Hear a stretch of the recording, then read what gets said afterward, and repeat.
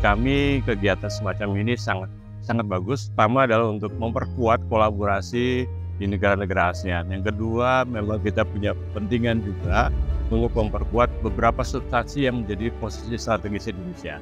Kemudian yang ketiga juga kita menjadi benchmarking untuk Indonesia sebetulnya bahwa posisi kita itu di mana sih sebetulnya agar kita bisa mendorong terus uh, posisi Indonesia menjadi lebih baik uh, khususnya untuk isu-isu uh, perubahan iklim di wilayah Indonesia sendiri termasuk di dalamnya adalah regional ASEAN.